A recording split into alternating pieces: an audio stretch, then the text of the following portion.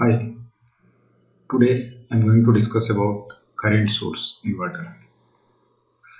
It is similar to voltage source inverter, but some differences are there that I will discuss today.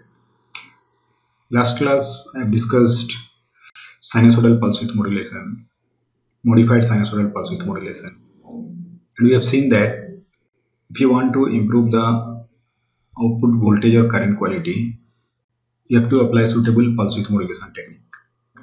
We will not discuss in detail this current source inverter, just basic about this one. Let's start. First of all, let's discuss the difference between this voltage source and current source inverter.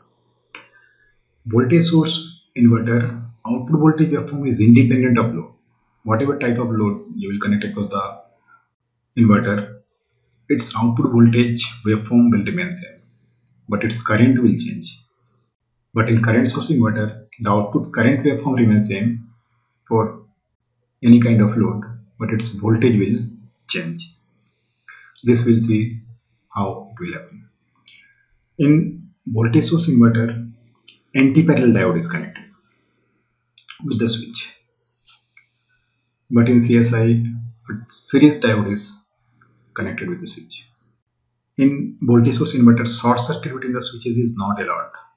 As we have seen single phase or three phase inverter. Let's take example of single phase full bridge inverter. There four switches 1, 2, 3, 4. And in one leg switch numbers were 1 and 4 and second leg 2 and 3. So when 1, 2 was on, just after that 3, 4 are not switched on.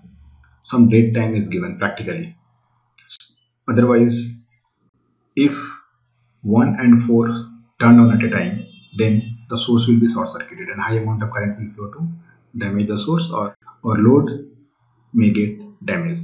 The reason behind it is that input impedance of the DC source generally is low.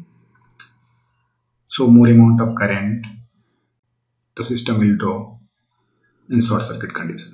So it is to be protected from short circuit. But in current source inverter, a inductor is connected in series with a DC source.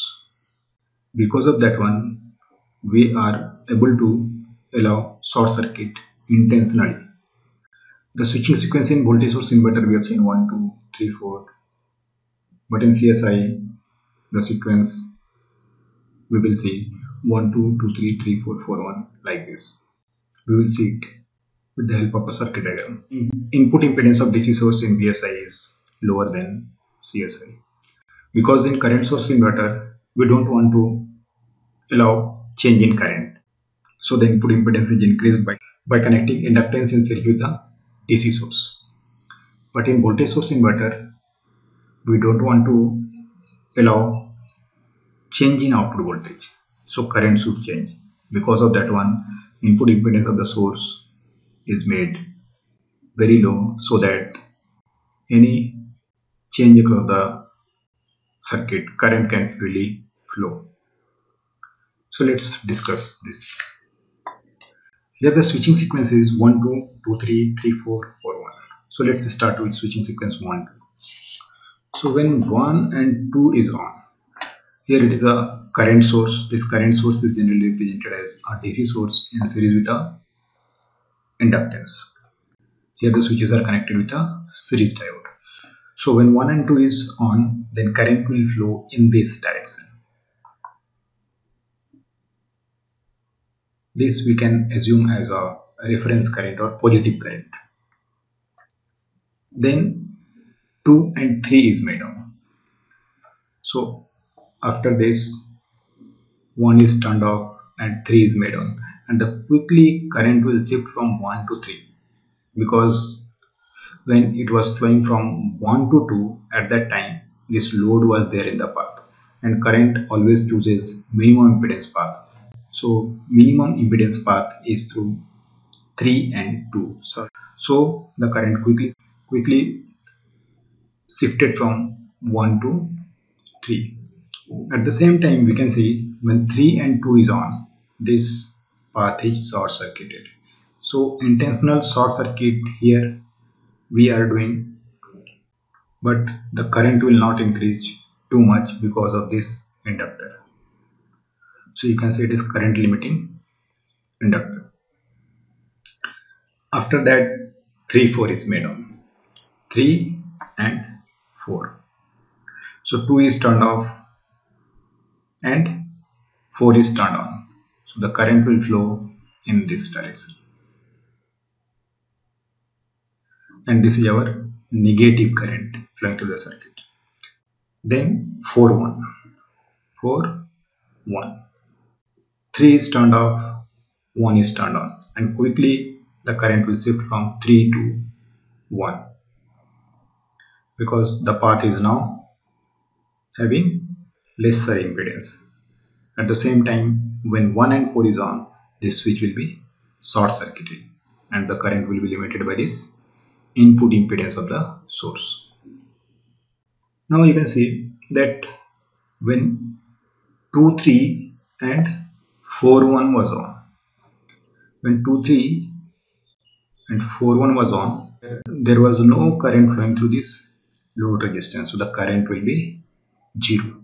Let's see the waveform. Here is our output current.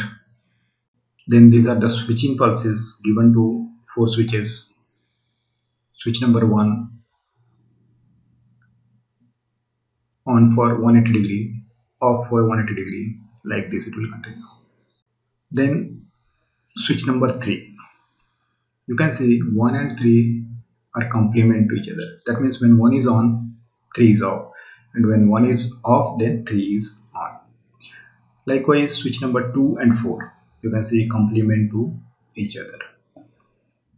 And switching pulse between 1 and 2 you can see here after some time this switching pulse across 2 is given and during that duration the switch 1 and 4 remains on. Let's analyze the output current waveform. During this current what are the switches on? See just go down this switch number 1 is on then switch number 4 is on. So 1 and 4 is on. And the current is 0 let's see.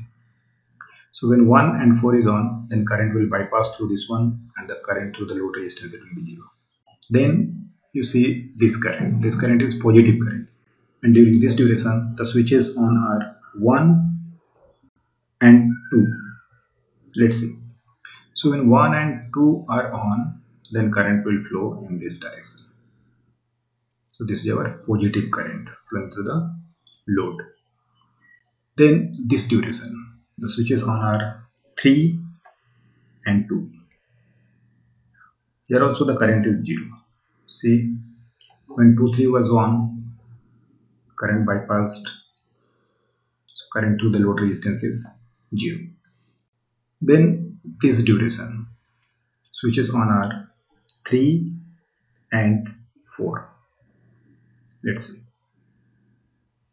So when 3 and 4 are on then current will flow opposite to the previous one.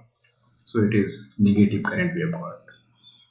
So here it is see here you can see this is your negative current. Then again this duration switch number 1 and switch number 4 is on. So 1 and 4 is on again the current is 0. So you can assume your positive half cycle between these to this point and negative half cycle between these to this point. So this is your complete 360 degree and this is 180 degree conduction and this is your 180 degree off time of switch number 1. So this point is your so complete one cycle you got. After that again the cycle will start from here. So likewise you will get the output current waveform. Now, when the load is made inductive, then to release that inductive energy, there is no path across the switches. Suppose 3 and 4 was on and the inductor across this one gets charged. After that 1 and 4 is made on. Then what will happen? the current will flow in this direction then what will happen to this inductor and nothing is there to discharge that current. So the inductor voltage will keep on changing. This is the reason that output current waveform remain constant but voltage waveform changes. But in voltage source inverter there we have seen anti-parallel diode was there to allow release of this stored energy across the inductor. Then the output voltage remain constant and the current changes because the inductor getting its path to release its energy so this is the basic difference between the voltage source and current source inverter